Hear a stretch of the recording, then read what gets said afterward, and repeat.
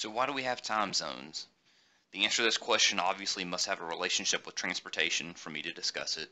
And in short, we owe time zones to railroad transportation. Until the industrial age, and spurred by travel, the time of day was a local matter. Every town set its official clock, if it had one, according to the local position of the sun. This served sufficiently until the introduction of the steam engine and rail travel which made it possible to travel fast enough over long distances to require almost constant resetting of timepieces as a train progressed in its daily run through multiple cities.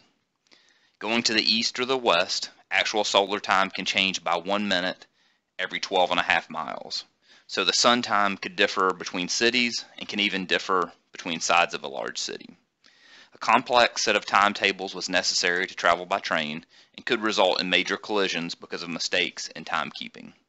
At this time, most trains were operated on a single track, with sidings provided at intervals to allow for trains going in opposite directions or at different speeds to pass each other. Safe operation and success of the growing railroads depended on keeping time more consistently and precisely.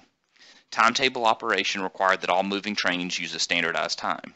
Timetable is a published schedule of the movement of trains, which lists the trains, locations along the line, and times at which certain events, such as arrivals and departures at a station or siding, were expected to take place.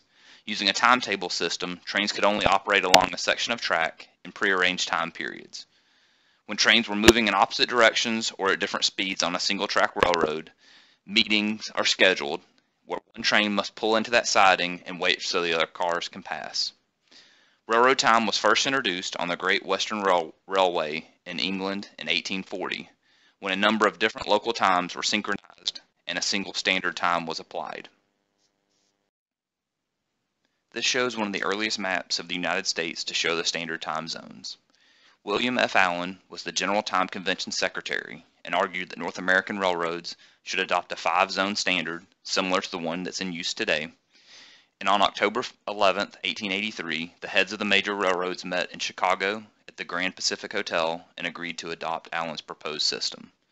The new standard time system was implemented on Sunday, November 18, 1883, and newspapers referred to that day as the day of two noons.